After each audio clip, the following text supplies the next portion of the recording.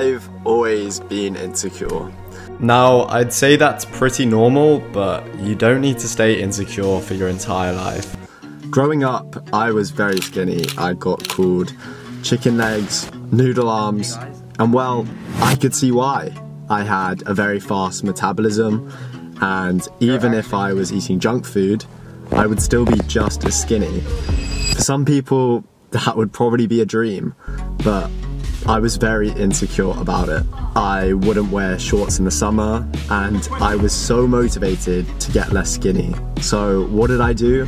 I got a gym pass. I worked out nearly every day with both terrible form and the worst nutrition, but I made some gains. Some people might say that it's toxic to change something if it's an insecurity as you need to love yourself for it first. Well, I say if you go about changing that thing in a healthy way that will end up making you feel more confident about yourself, then I say go for it. As I was trying to get less skinny, I faced one problem. I didn't want to bulk.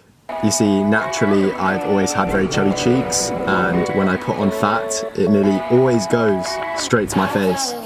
Overcoming this insecurity has taken a very long time, but I'm finally at a point where I'm going to properly bulk Beautiful. because at this point, I'm only trying to get less skinny for me. I've stopped caring what other people think, and I think that delayed gratification is a very noble pursuit. Growing up, I've also been very insecure when it comes to social interactions. I've always lacked the confidence to talk to girls and to meet new people. I've been so perfectionistic that if I didn't say the funniest joke in the room, I'd beat myself up. With time, I've realised that you don't need to be the funniest, or the loudest, or the smartest. You just need to be yourself. A lot of the time, when you're worried people are judging you for what you're saying, they're really not. And a powerful quote that I've heard is You are not the person you think you are.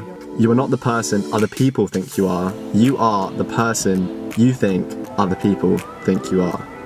It's a, it's a bit of a mouthful, but basically it means that it is all in your head.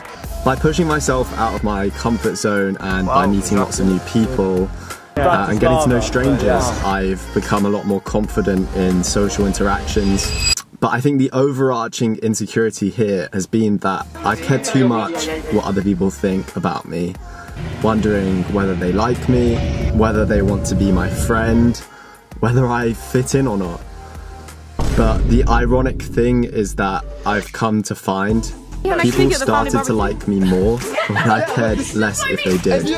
I've done a lot of work to build up my self-esteem and my self-worth and getting to a point where you completely don't care what people around you think is practically impossible and will probably just turn you into a dickhead. But getting to a point where you care a lot less about changing yourself for other people is realistic and definitely a possibility.